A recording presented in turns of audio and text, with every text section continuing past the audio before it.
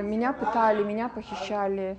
Мне прижгли пальцы на правой руке сигаретами, э, говоря, что э, я буду так лучше писать и никогда не забуду, как хорошо надо писать.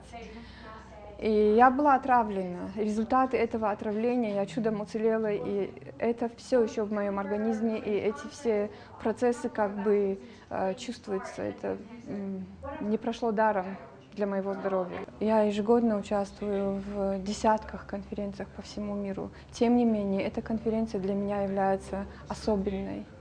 Она носит, кроме общественной деятельности, как бы персональное значение для меня имеет, потому что я черкешенка. И как черкешенка я, э, кроме моей журналистской деятельности, также занималась и деятельностью по восстановлению исторической справедливости в отношении моего народа.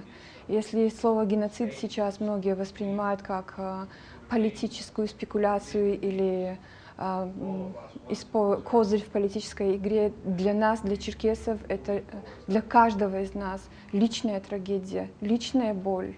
Мы народ, который лишен дома, лишен права на возвращение домой. Наша земля была оккупирована.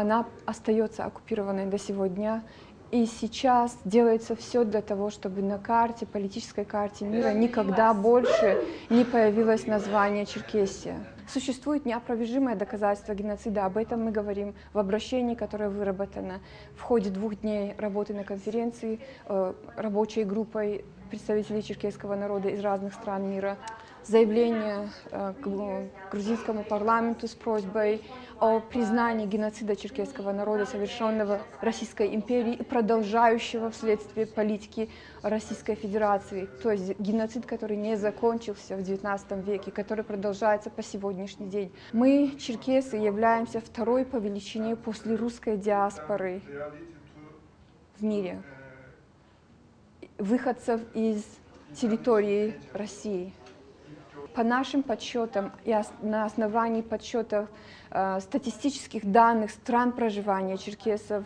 э, это примерно э, колеблется цифра от 5 миллионов до 6 миллионов только 3% от общей численности черкесов живут на исторической родине, 97% живут в изгнании. Нет ни одного сравнения или прецедента в истории человечества, когда народ был изгнан в таком количестве. Я сейчас делаю фильм о черкесских диаспорах, и это было для меня открытием обнаружить, что вот в Иордании, Э, в Израиле, э, в Турции, в нескольких местах, где я была, а также в э, Америке, естественно, и в Германии.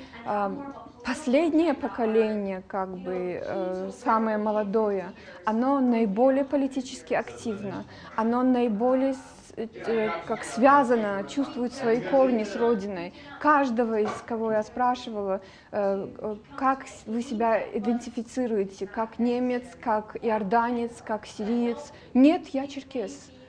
А на каком языке вы хотите говорить? На черкесском. Я учу черкесский. А, а что является вашей родиной? Моя родина Черкесия.